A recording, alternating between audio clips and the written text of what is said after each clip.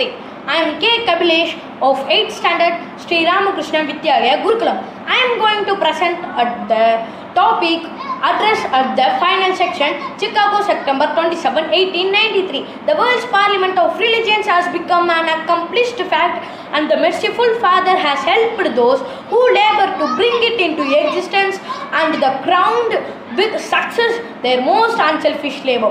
My thanks to those noble souls whose large hearts and love of truth first dreamed this wonderful dream and then realized it. My thanks to the shower of liberal sentiments that has overflowed this platform. My thanks to their enlightened audience for their uniform kindness to me and for their appreciation of every thought that tends to smooth the friction of religions.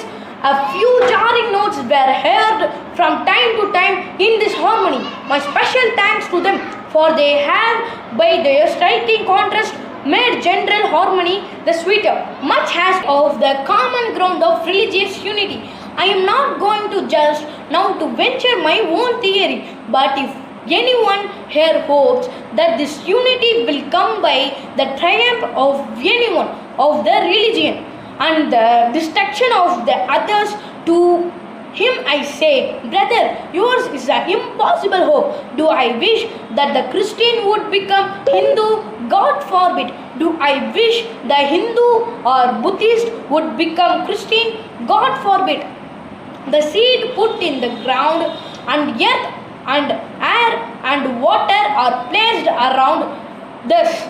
The seed become the earth or the air or the water? No, it become a plant. It develop after the law of its own growth. Regulates the air, the earth and the water, converts them into plant substance and grow into a plant.